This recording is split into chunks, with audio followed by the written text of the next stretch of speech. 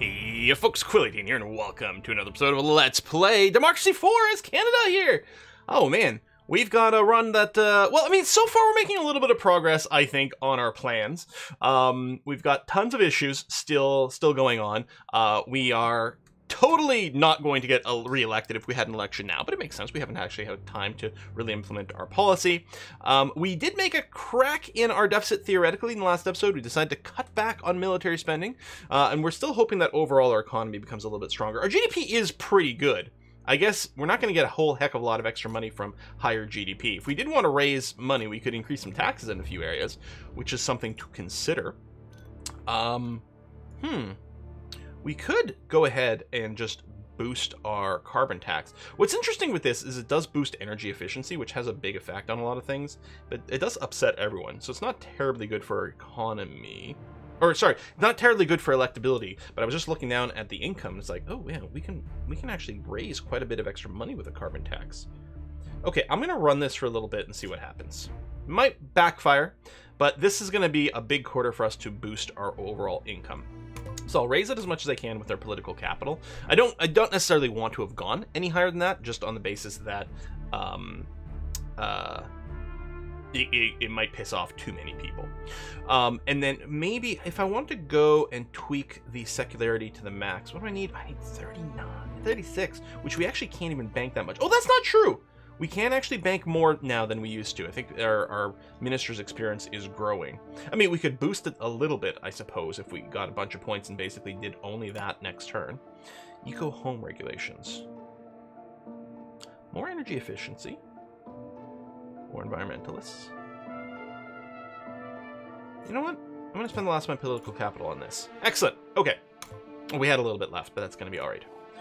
Stricter driving tests. So there are calls to toughen up driving test regime to ensure dri new drivers are much better prepared for road conditions and improve driver safety. We can toughen up the tests. The current driving tests may have been fine when cars went 20 miles per hour and before six-lane highways existed, but times have changed. Drivers are increasingly distracted by mobile phones, can drive staggeringly fast vehicles in all weather conditions with virtually no experience. For the sake of many children run over and killed each year, we need tougher tests, or we can make no changes. There's no need for change. If anything, cars are getting safer each year thanks to modern technology such as collision detection and crash safety programs. That's true. Crash safety system, sorry. It already costs a fortune to take for and takes forever to pass the driving test. This would just be a burden for new young drivers.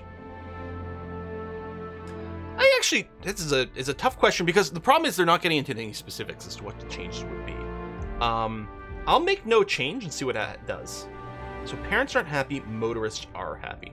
We do have a good number of motorists, if I recall correctly. Yeah, it's actually like virtually everyone in our country are motorists. So if we can keep the motorists happy, that will do good things for election. Now, there are some crossovers between motorists and um, environmental things because... Um, unless we're already running it. Well, biofuel subsidies do make motorists happy. I guess this might have been what I was thinking. There's there's a couple others. There's like fuel efficiency. Oh, fuel efficiency standards over here make motorists happy. Oh, actually, it increased their income. I think before it used to directly boost their happiness. Now it's going to do it like probably via their income here. Because if the cars require less fuel, then they have to pay less at the pumps. So it's going to upset the capitalists. Again, we do have a lot of capitalists, and we're going to have to keep an eye on that. Um, it also boosts car usage, which isn't good for certain things, but theoretically it's going to be offset by the lower oil demand and CO2 emissions. Because more cars equals more oil demand and CO2 emissions, but we can drop it over here, keeps making environmentalists happy, which is a fairly large group of people who don't love me too much. Um, and it will, it actually doesn't affect the environment directly, but the lowered CO2, CO2 emissions will. And yeah, it should overall make the motorists happy, and motorists being the literal largest bloc of voters in our country. That seems like it will take a long time to have an impact. I guess you can just keep referring to these uh, fuel efficiency standards. I see, with the gear. That's actually really cool. Okay, I'm to go ahead and do that. Oh, I guess I got to close you first. Um, and then if I can do the biofuel subsidies as well, I think that's going to be very good. Yeah, we'll, we'll crank up the subsidies to the max. Oil demand goes down, CO2 emissions go down, food prices go up. Yes, so this is actually a thing, right? Because if farmers are growing corn for turning into ethanol, as opposed to using that land to grow food for people, then that will increase food prices. Still, I think we're going to go ahead and do this. Our effectiveness is pretty low on that particular uh, advisor, which is uh, unfortunate. Uh, we've basically eliminated the deficit by raising the carbon tax and cutting our military spending a little. We've basically eliminated our deficit, which is nice to do. It'd be great if we started running a surplus so we can bring debt down so that we didn't have to spend as much on our debt interest payments over here. Um, now, as, assuming that we don't lose credit rating, uh, this is going to remain manageable. The problem is if you lose credit rating, then all of a sudden your interest levels go up like crazy and everything spirals terribly bad. Could save a lot of money by cutting state pensions, but I don't think we're going to do that. I don't know if there's any other changes I need to make right at the moment. Pollution is slightly going down. Not enough to make a difference, though and more people are becoming environmental protesters. Probably because we're actually generating more environmentalists, but it's possible that the environment, well, it's just sitting at 0%. Okay. Thanks to our amazing GDP, mostly. Oh, a 10 gay wedding. So a super popular celebrity is getting married. You're invited as one of the guests, which would normally not be in any way controversial, but it's a same-sex couple, and the celebrity is well known to advocate for LGBT rights. Will you attend? Of course we'll attend. Sure. Liberals are happy, religious are unhappy. Situation imminent. Cyber warfare. Ooh, and that's going up. That is definitely going up. I think this is something we're going to have to deal with. Ooh, that is... And it's a, a, slightly larger range between the start and stop than some of the others. Uh, so we'd have to work really hard to bring it down below the stop trigger over here. Um, improving our foreign relations helps to do that. Military spending will help to fight that. Uh, we can also just boost our intelligence services, which may in fact be the better way in this particular situation. Okay, first of all, let's take a quick look to see if there's a policy we might want to run that could tweak it.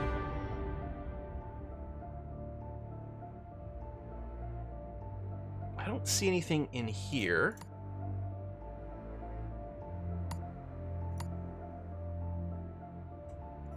I can't imagine anything taxes or public services. I want to run a few of these. Oh man, public libraries. Yeah, I want to run this because this is really good, but let's wait on that a second. Because I really don't want this to start. So what we might need to do is increase, and I'm looking for the symbol. I mean, there's wiretapping. There might be a specific, like, internet... Alright, so that's community policing. That's cameras. That's gender transition. It's interesting that's under law and order as opposed to, like, public services? I don't know drug enforcement, illegal aid, legalized sex work, firearms, gambling, intellectual property rights. I have a hard time imagining that will affect um, cyber warfare. Press freedom, prisoner tagging, prisons, narcotics, that's the intellectual rights, big game, alcohol law, intelligence services. This definitely will. So increasing this will increase our costs, although it doesn't go up like, you know, from 8 yeah, it's actually not boosting it that much. It does upset the liberals a lot, and we do have a lot of liberals in our country. Um, it doesn't, otherwise, it doesn't seem to have a big impact, but behind the scenes, this has an impact on our security of like not getting me assassinated, as well as, um, as well as, I think fighting cybercrime. So I'm not going to go to Spy Satellite Network. I will stay in what is called the high-tech spy service range, which thematically sounds about right. Let's boost it to here. We'll spend four political capital to bring it over there. It's going to add a fair amount of money. It's going to piss off the liberals a little bit. But what I'm hoping is that this will have mostly an effect on some of our defenses over here. Interesting that intelligence services isn't actually one of these categories. Huh. Oh no, there it is. Duh. Okay. I think improving wiretapping would also cut down on some of those things, but it gets expensive. Are these little ticks? Oh!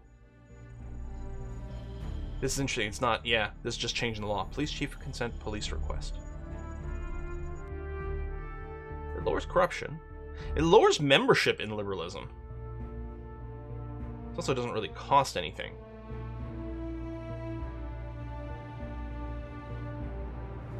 You know what? Screw it slightly uh, Orwellian. It's gonna be fine. So we still didn't go and boost this, as we're spending our points elsewhere. But we gotta deal with these problems as they come up. Um, I might not go and spend anything else right now. Fuel subsidies, electric car initiative. This is pretty expensive to boost up. We got our cycling campaign, which wasn't maxed. Why didn't we max this when we started it? Seems weird. Oh, no, I guess it's bike subsidies we ran. Cycling campaign was already in existence. Um, it's only going to cost us one to max it out. It doesn't make much of a difference, but let's go ahead and do that anyway. Car emissions limits. So this does not count cost us very much. It does have a giant boost on environmental the environment and increases electric car transitions. Cuts down CO2 emissions. The motorists don't love it, but they don't, it's not like the worst thing in the universe for them. You know what? Let's do that. I'm very happy with that, and I use exactly the amount of points we had left over. I think that's going to be very good. Naturally entertaining. Is that me? I'm naturally entertaining? Our country's celebrated naturalist. Oh, I've done it again! The latest video documentary series, Global Smash Hit. Excellent! I mean, maybe it's a... Who's our environmentalist guy in Canada? David Suzuki or whatever? That's kind of cool. All right. Um, so more people are going to want to become environmentalists because of this great TV program. Environmentalists are happy. Foreign relations get a boost. Situation imminent. Media monopoly. It hasn't moved much. Actually, well, it hasn't moved at all, literally. So that's good. Polls, I mean, they are improving overall from where they were. Trustworthy. We do have a budget deficit. Liberal League is threatening direct action, so it's opposition to the current government. So Liberal League uh, membership is high. They're cranky. All right, liberals. I mean, actually, you don't hate me as that bad, to be honest. You're not that unhappy. I mean, the, the obviously the wiretapping made a big impact on them. Need support for Liberal League and the Freedom Rebellion. We did attend the great the gay wedding. We've got armed police. I wonder if there's anything else I could. Yeah, there's no term limits. Prime Minister does work differently than a president. So the mechanics are a bit different. You'd have to have term limits on um, elected members of parliament, period. Which honestly might not be a bad idea. You know, would be a good idea too. Maybe a limit on our senators. Maybe get rid of the Senate. What are you cranky about? So he has sympathies for the capitalists and the conservatives, and I guess I'm not making either one of them terribly happy. Well, the capitalists don't hate me. The conservatives are going to be pretty cranky, though. This uh, Jack Conte might actually not be a long-term person for us, unfortunately. All right, we got the 18 points. We could scooch this up, and honestly, I think this is a pretty good idea. We're going to scooch this up as much as we can. Long-term liberalism membership goes up and religious membership goes down, and these are certainly the, the groups that we're going to be trying to keep happier. It's not... I don't know how much of a difference it made, and they did spend all of our political capital, but I think overall we're going to be happy with that change. How's our uncompetitive economy? Dipping down a little bit.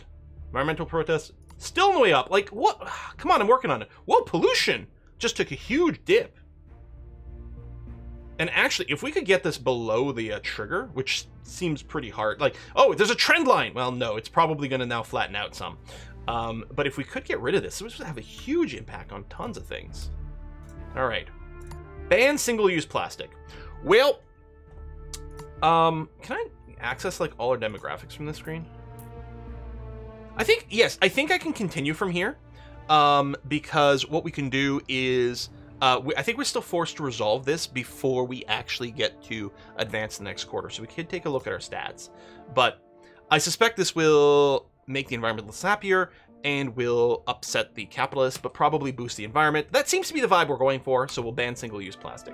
Oh, the liberals don't like that. That's true.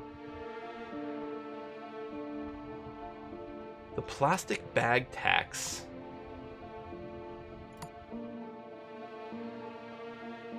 That's because there's no plastic bags anymore. I didn't think of that. Interesting. Uh-huh. All right. Well, that that's okay. A good way to raise money would be to raise um, corporation tax, which would, of course, piss off the capitalists even more. Uh, the thing is, if it raises too high, you can get brain drains and things like that that can be very difficult to deal with.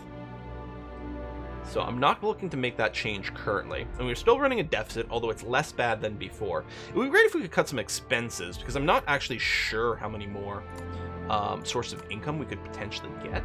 I could throw in some capital gains taxes.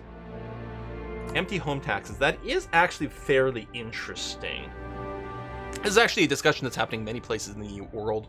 Um, in real life, including Canada, uh, because there's a lot of things where um, it, there's a lot of cases where it's people who are not um, are not citizens, like people from outside the country who live even primarily outside the country, but will buy a home in Canada so that they have it for you know like summer vacation things like that. It does sit empty a lot, and as a result, the current currently the Canadian housing market is ridiculous. Basically everywhere in Canada, house prices are through the roof. Uh, everything is so expensive, and especially if you're in a major, um, a major like city kind of thing. It is absolutely ridiculous how expensive it is. And that's not exclusive to Canada. Uh, I know the US is the same thing, and I think that's the same situation in many places in Europe as well. Um, and so one of the proposed solutions that people have is uh, to it, sometimes it's to prevent home ownership completely if you're not a resident of the country. Um, and uh, like you know it's not citizenship but residence. Like if you are living in canada then yeah go ahead. But otherwise no. Um, and other ways to prevent it from like you know via weird corporate shenanigans and things like that. I don't know if any of those are good ideas. I have no idea. Economy and real estate is not my forte. I only know that these are things that people are talking about. Um, diverted profit tax I don't want to really hurt foreign relations more, especially if I keep cutting the military. This might not be the worst thing in the universe to run for us. Because honestly, cutting down on some air travel for it would improve our, our environment a little bit. And politically is a pretty strong move. Electric car initiative. Oh, that's actually not very expensive. Huh? Sorry, hybrid car initiatives. Yeah, less damage to the environment because slower speeds use electric, produce no CO2, higher fuel efficiency, less oil, uh, very expensive, tax incentives to generate it, but it's not that expensive. It lowers oil demand, Environmentalists are happy. Motorists are happy. Again, largest voter bloc in our country. Does increase car usage, which has pros and cons. Uh, well, it's it's mostly cons. You don't want to increase car usage, but if we're doing it in a way that also lowers oil demand, it's not the end of the world. Environmentalist income goes up. More members environmentalists. The environment goes up. Higher earnings. I guess that makes sense. So people with high earnings people with more money are more likely to buy the electric the hybrid cars and are therefore going to be the ones getting the subsidy. But it also increases electric car transition rate which seems like an excellent idea. I think we should implement this. This seems like a win-win-win on many different levels that we're trying to achieve. Lower that oil demand boost the environment keeping um, the motorists happy and yeah this electric car transition seems like a good idea. All right let's apply those changes. That i'm very happy with that and we're spending a little bit of money, but it should have huge dividends. Um, it is time for us to get a few of these basics. Um, oh, compulsory water meters. It's not that expensive. No one hates it. And we were a little bit worried about the water usage situation. If we just crank this up. Okay, that's not that's not free. But it seems like a good one and maybe we can save a little bit of water that way. All right, we're basically out of points, just because I, if you get to a situation that start, bad things happen. At least our election numbers keep improving, you know, quarter by quarter. We're up to 24% now. Health has gotten better. Expand public right of way. As we build more houses in our country, once open land that was used by walkers and hikers increasingly becoming closed off and considered private property. Socialist campaigners have protested the, these changes and are calling for an expansion of protected public right of way. We can take no action. Private land is private land, regardless whether it's farmland, industrial land, or someone's garden or yard. The idea that because people have taken a certain path for many years, that they should continue to have the right to trespass in private property is ridiculous. There are plenty of public roads and parks people can use to make can make use of. But we're going to expand right away. So much of our country is now private property that people's access to open countryside is worryingly restricted. I don't think this necessarily applies to Canada, at least as a whole, but certainly within certain areas. Yeah, okay. You know, Toronto, Vancouver, that sort of vibe, right? Um, does it really matter to a farmer if a few walkers and hikers occasionally cross their land on a designated footpath? We should ensure that open countryside and footpaths are easily accessible to everyone. One of the things that I love about when I spent time in the UK, you know, back when we used to be able to travel, um, was that they really do have public right of ways. It's basically there are only a very limited number of situations, at least in practice, in terms of what you'll actually encounter and experience, um, where you're not allowed to basically just just go anywhere in the UK. They have fairly liberal laws for that, and it is kind of nice. Um, and uh, honestly, in in North America, uh, Canada, U.S., I think the idea that like people can walk across your public land is so like, like oh my god, like what? How could that even be a thing? which is interesting to consider. Uh, presumably, Action 2 does make the socialists happy because they're bringing it up uh, and probably pisses off capitalists. I, I don't know how this is going to affect liberals one way or another. Tell you what, we're going to say take no action because I think it might be a little bit more in line with the current Canadian situation. So farmers are happy that no one trundles across their land. Socialists are unhappy. Okay. All right. What is the situation here? We're, uh, I don't know, two-fifths for a term, somewhere around there. Closing on the halfway marker. Middle-income people are still pretty pissed with us. And that is a large voting bloc. Environmentalists are starting to get very pleased with us, though. Um, and they do represent a lot of people. And actually, the capitalists don't hate us either, which is good. They don't love us. State employees love us. The poor love us. They don't represent a very large voting bloc. The retired love us. Again, they don't represent a very large one either. Although, um, I try to remember if this represents like how likely people are to actually vote because I mean, in reality, you know, the retirees and things like that tend to vote a lot more than than the Utes, for example. But I'm not sure how that's modeled in this game. All right, we got 21 points to spend. Let's take a little look at our situations here. Respiratory disease has finally gone down a bit, probably because our environment has gotten better. Obesity, it's slowly going down, but not much. Environmental protests have finally peaked and are reducing. That's a good sign uncompetitive economy hasn't really moved. But a big one that I'm concerned with is pollution, and it's dramatically dropping. If we were to eliminate this situation, uh, that would be just tremendous. Our deficit has grown again.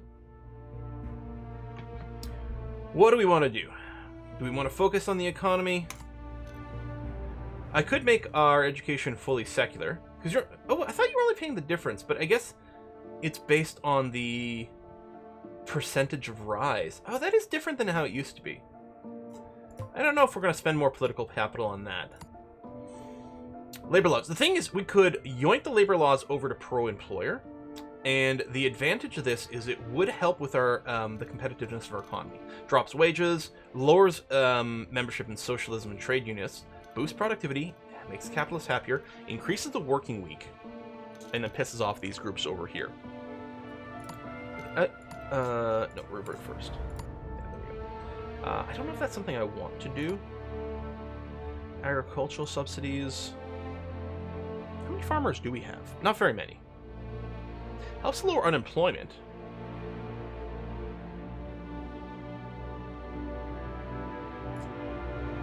I don't know if that's really a priority. And it's actually pretty expensive to do. I just noticed that's very expensive. Uh, we could we could lower minimum wage. So none of this costs us anything directly. It's mostly about what it impacts and things. I do have to start thinking about the election. At a certain point, I might have to start spending political capital on electioneering stuff.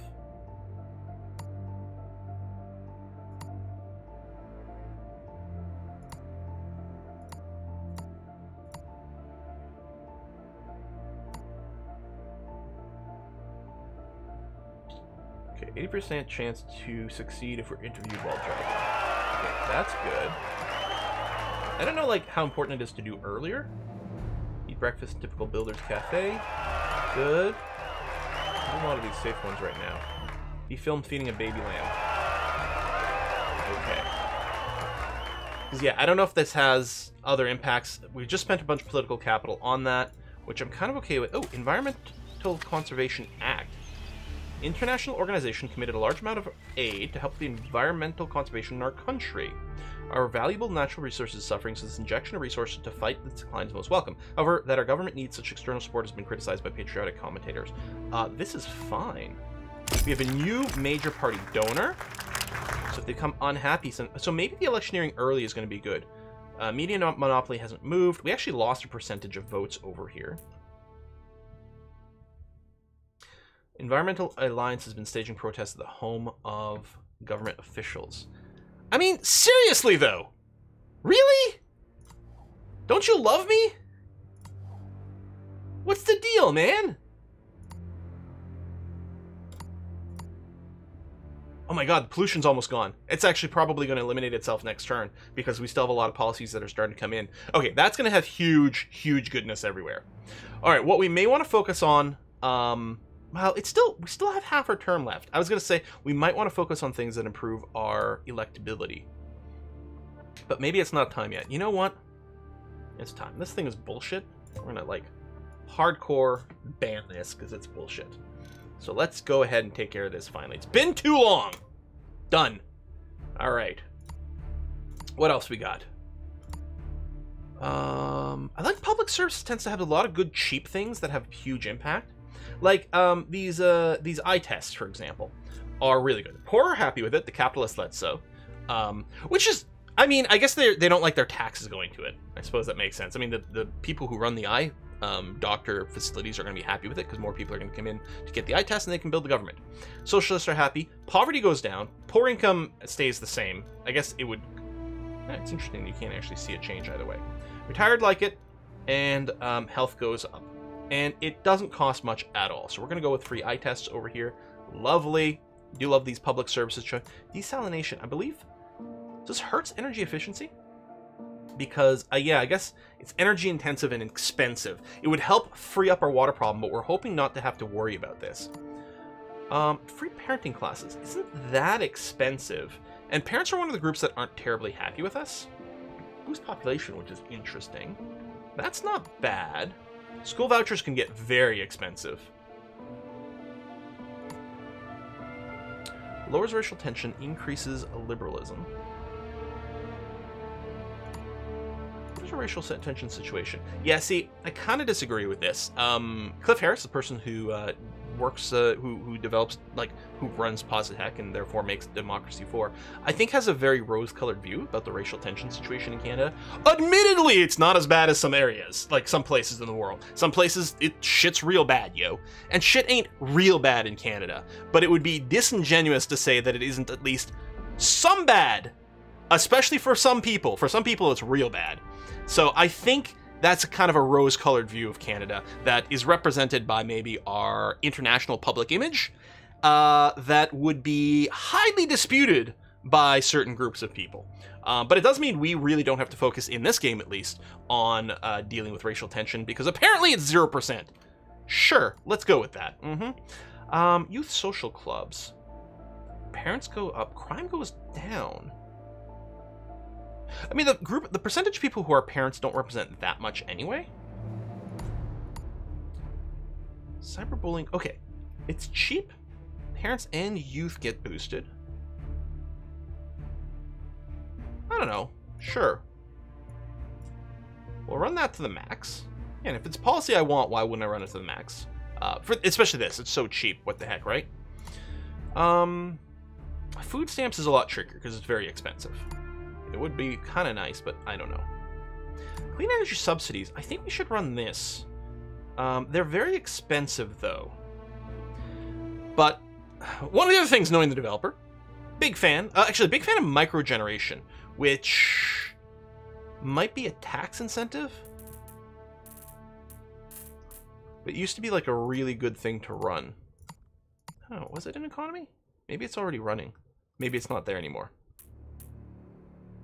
Oh, mandatory microgeneration. That's interesting. Maybe I already have a microgeneration policy. Um, I wonder what category that'd be under. Not law and order. I wouldn't think public services. Could be tax related. I don't see anything at a glance. Um, I don't know if it would be economy, although there is certainly some. That state energy company. These smart meter programs. Oh, I wouldn't mind boosting this. It gets quite expensive. Mm, for maybe mediocre returns. Okay. Universal doorstop collecting. Doesn't increase our cost that much. And you know what? It's very on brand with what we're doing. Done. Now let's take a look at our cabinet over here. How's Jack doing? Jack's this guy over here at 0.8. Yeah, we're uh, we're gonna have to replace you there, buddy. Before you quit and generate some, uh, some bad press. So this is our economy role, which unfortunately no one. You'd have to go way down here to do it. Conservatives and socialists. Let's let's go with Remy. He gives us 1.9. It's not his preferred job, but motorists and liberals should mostly be happy with us, so he should keep he should stay pretty good for us. So we're going to spend one to do that, because if you do have a minister quit on you, it looks real bad, and we don't want that. Anyway, we're going to go ahead and um, we're going to put a cut in here. We might make some more policy changes, uh, because we do have six. Most likely we'll just click to the next month uh, when we come back. We shall see. Hmm.